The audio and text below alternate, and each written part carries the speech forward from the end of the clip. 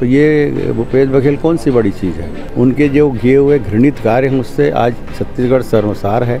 आज उस पाटन क्षेत्र को कलंकित कर दिए हैं। हम, वहाँ की जनता कभी उसको क्षमा नहीं करेगी। उनसे मुझे बात करने की इच्छा नहीं होती। छत्तीसगढ़ विधानसभा चुनाव का कुछ ही दिन बचा है, लेकिन भाजपा हाईकमान ने छत्तीसगढ़ में 21 उम्मीदवार की घोषणा करके भाजपा छत्तीसगढ़ को ऑक्सीजन देने का काम किया है। मुख्य वीआईपी सीट छत्तीसगढ़ का दुर्ग ज़िले का पाटन, जहाँ से मुख्यमंत्री भूपेश बघेल विधायक हैं। उनको कड़ी टक्कर देने के लिए उनके भतीजे दुर्ग सांसद विजय बघेल इस वक्त हमारे साथ हैं। हम उनसे बात करते हैं कि इस चुनाव में अपने काका यानी भूपेश बघेल मुख्यमंत्री को कैसी टक्कर देंगे।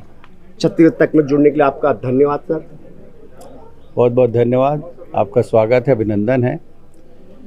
और जिस तरह ये बात आपने पूछी तो मैं तो सबसे पहले अपने राष्ट्रीय नेताओं का, भारतीय जनता पार्टी के सभी हमारे प्रदेश के शीर्ष नेताओं को बहुत बहुत धन्यवाद दूँगा कि मुझे इस लायक समझे। और जिनके बदौलत समझे वो, उन तमाम हमारे कार्यकर्ता भाई बहनों का, युवा साथियों का, और साथ ही साथ हमारे वहाँ की प्रिय जनता का पाटन क्षेत्र के, उनको मैं बहुत बहुत आभार व्यक्त करता हूँ उनका और उनको धन्यवाद भी देता हूँ। और इसी तरह प्रेम स्नेह आप सब निस्वार्थ भाव से मुझे मिले ये मैं उनसे निवेदन करता हूँ। चुनाव में कैसी टक्कर देंगे मुख्यमंत्री भूपेश बघेल जी को? क्योंकि वो आपके काका लगते हैं ना चाचा लगते हैं। वो कांग्रेस से और मुख्यमंत्री हैं और अब भाजपा ने आपको टिकट दिया। कैसा खड़ा उतरेंगे? अरे मुख्यमंत्री रहे प्रधानमंत्री रहे ये तो कई बार हुआ है। अनेक मुख्यमंत्री हारे हैं तो ये भूपेश बघेल कौन सी बड़ी चीज़ है?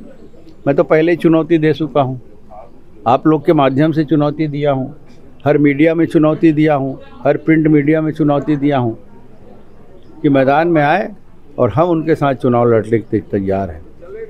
मैं इस बात का भी उल्लेख किया था कि अगर पार्टी आदेश करे तो निश्चित रूप से मैं पाटन में भूपेश बघेल के खिलाफ चुनाव लड़ने को तैयार हूँ। क्योंकि जनता का जो दुलार प्यार स्नेह मिला है। मैं घबो घमंड से नहीं बोल रहा था। हम कमल खिलाने के लिए तैयार हैं। ये बात मैंने आप सब के माध्यम से जनता तक पहुँचाया था। और आज मेरा सौभाग्य कि उन्होंने मुझे वहाँ प्रत्याशी के रूप में ये ज़िम्मेदारी दी है। आपके काका से ऐसी क्या बात हुई जो आप उनको एकदम राम और रावण जैसे मानते हैं दुश्मन मानते हैं? नहीं नहीं मैं दुश्मन क्या है? देखिए उनका जो कथनी और करनी में अंतर है। उनके जो किए हुए घृणित कार्य हैं, उससे आज छत्तीसगढ़ सर्वसार है। और जो भाव से, खासकर पाटन की जनता ने उसको पाँच पाँच बार आशीर्वाद दिया, इस इस लायक बनाए कि वो मुख्यमंत्री बन जगह छत्तीसगढ़ का, आज उस पाटन क्षेत्र को कलंकित कर दिए हैं। पाटन क्षेत्र में शराब की नदियाँ बह रही है। 24 घंटे जगह जगह कहीं भी मिल जाए आप शराब मिल जाएगा आपको। शराबखोरी हत्या बलात्कार डकैती बला सब चीज़ हो रहे हैं। और ये बता दूँ कि मैं मुझे भी शर्म आती है इस जैसा व्यक्ति आज मुख्यमंत्री है और इसके लिए हम वहाँ की जनता कभी उसको क्षमा नहीं करेगी इसलिए उनसे मुझे बात करने की इच्छा नहीं होती। कांग्रेस प्रदेश छत्तीसगढ़ के अध्यक्ष दीपक बैस ने कहा कि अगर मुख्यमंत्री भूपेश बघेल जी नामांकन भरने के बाद एक भी दिन अपने क्षेत्र में नहीं जाएँगे, वो जीत के दिखाएँगे। इस बारे में आप क्या कहना चाहते हैं? ये है ना बाँध के रख लेना, मैं देखता हूँ कितने दिन नहीं जाएँगे। और, दीपक जी, आप खुद ही आ जाना प्रचार करने और अपने सभी मंत्री, सभी विधायक और सभी जो आपके राष्ट्रीय नेता हैं ना, राहुल जी से लेके सोनिया जी से लेके सबको आप ले आना। पूरे दमदारी के साथ, पूरे विश्वास के साथ मैं कहना चाहता हूँ आपसे कि हमारे वहाँ की जनता ही उनको सबक सिखाएगी और हार का जो रिज़ल्ट है वो आएगा। आप खुद ही देख लेना। आप बहुत बड़ी बड़ी बातें मत करिए, मैं भी नहीं कर रहा हूँ। आप थोड़ा अपने आप को, अपने मुख्यमंत्री को टटोल के देखिए। आप खुद के अंदर उसके प्रति क्या भावना है, मुझे बताने की ज़रूरत नहीं छत्तीसगढ़ के एक मंत्री हैं, अमरजीत भगत। उन्होंने कहा कि सांड के सामने बछड़े को छोड़ दिया गया। यानी आपको बछड़ा कहा है? इस बारे में क्या कहना चाहते हैं बहुत अच्छा मेरे को संज्ञा दिए है। हाँ मैं बछड़ा हूँ और बछड़ा ही रहना चाहता हूँ, क्योंकि बछड़े को बहुत प्यार मिलता है, बहुत स्नेह मिलता है, दुलार मिलता है। अनेक लोग आया कि उसके सामने फ़ोटो खिंचवाते हैं। और सबसे बड़ी बात है, गौ माता।